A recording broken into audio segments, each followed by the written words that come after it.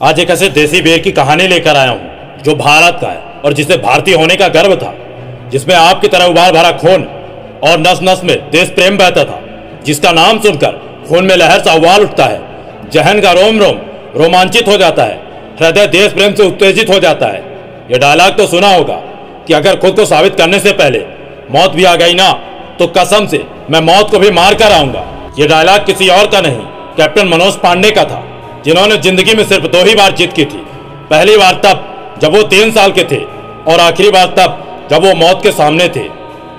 जब एनडीए में उनसे पूछा गया था कि आप एनडीए क्यों ज्वाइन करना चाहते हो, तब इनका सिर्फ़ एक ही जवाब था कि मैं सिर्फ़ और सिर्फ़ परमवीर चक्र के लिए एनडीए ज्वाइन करना चाहता हूँ। बात उन्नीस की है। कारगिल में पाकिस्तानी घुसपैठ को लेकर तनाव बढ़ता जा रहा था, और इसी युद्ध के दौरान ये भारत के लिए शहीद हो गए थे। आज यही देश प्रेम यही दिवालियापन यही जीत, यही पागलपन हर हिंदुस्तानी के जहन में होना चाहिए। लेकिन आज हमारा देश अशिक्षा और हिंसा से जूझ रहा है।